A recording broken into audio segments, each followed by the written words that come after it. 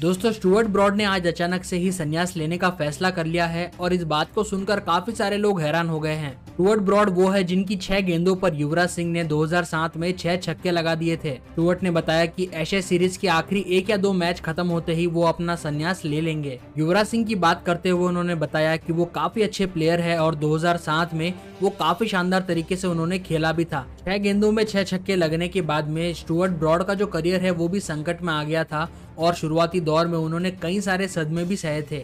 उन्होंने बताया कि युवराज सिंह के सामने खेलने के बाद में उन्होंने काफ़ी ज़्यादा प्रैक्टिस करी थी, जिसके बाद आप जानते हैं कि स्टुअर्ट ब्रॉड ने अपने जो करियर है, उसके अंदर 600 से ज़्यादा विकेट चटकाए हैं इंग्लैंड की टीम के लिए। और अब 37 इयर्स की एज में इंग्लैंड के इस गेंदबाज ने संन्यास लेने का फैसला कर लिया है। क्रिकेट से जुड़ी ऐसी ही न्यूज़ पाने के लिए चैनल को सब्सक्राइब कर लीजिए।